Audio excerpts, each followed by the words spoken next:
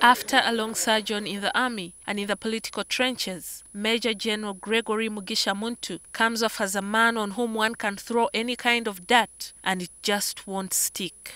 He could be described as the poster boy for gentlemanly behavior when confronted with Uganda's often volatile politics. The current conditions in the country, for those who read the surface of things, they can get scared and think that the situation is impossible.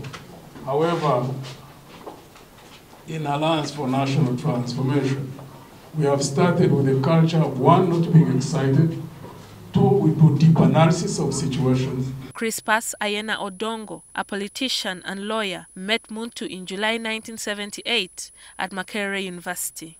Muntu was studying political science and was a year below Odongo, who was the chairman of Livingstone Hall. He attests to Muntu being a stickler for rules. I sent my minister of entertainment to go and get beers from Uganda breweries.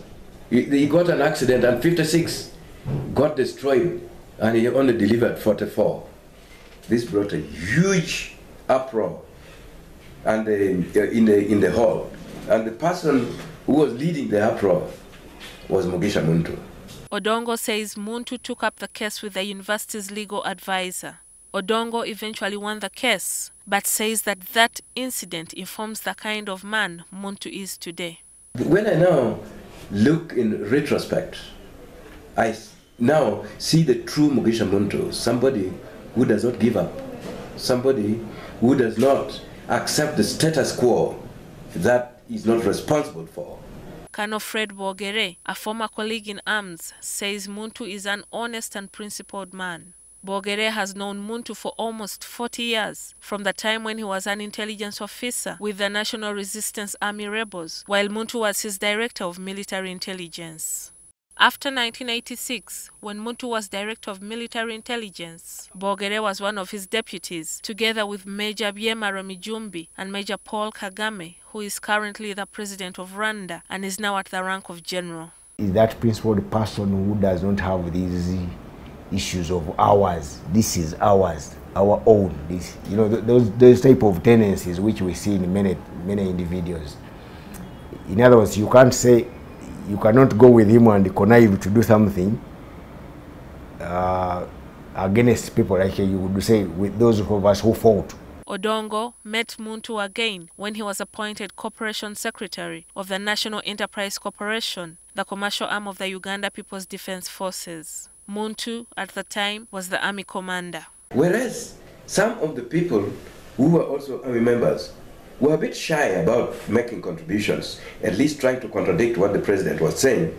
Mugisha Muntu would come out boldly to state, actually to state his opinion about certain things. I saw again the man I knew when we were still children.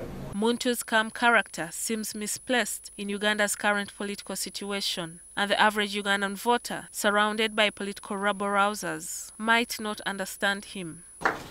It is our belief that by God's grace, we are going to shift the dynamics of politics from the current condition that people see to a state where people will see light. Either because of the fact that we have suffered a serious moral degeneration and therefore we don't want a principled person. Because some people, even in, in, the, in the army, they used to, to, to, to call him a, a Morocco, you know, uh, even others would call him a bishop. His soft spokenness, in my view, is not a hindrance at all. He's not a liability. Of course, I don't agree with him politically because I fault him for failure of judgment because he created the system that is now, uh, that he has now come to fight too late. Every once in a while, a serving soldier will come out to say officers in the UPDF cannot salute any other commander in chief apart from the current one. The question is, can Muntu manage the army? We are not ready to give out to, to, to, to, people, to, uh, I mean, uh, ideological, ideologically bankrupt people kubeera ngo tuleeta tuleete mundu we are planning a handover for you Do you think we are planning a handover? No, we are not planning a handover. We are planning, actually, we are consolidating. He has the capacity to control it because one, he knows what makes an army. Two, he's good at sending his message, especially when he's sending it to people who are qualitative, who can understand his message. As a former army commander, General Muntu commands a lot of respect from the men in uniform. And what most people want out of the politics of today is peace and prosperity. It is believed that Muntu's stance on corruption, which is a cancer eating our society, might contribute to the development of the country. Gillian Nantume, NTV.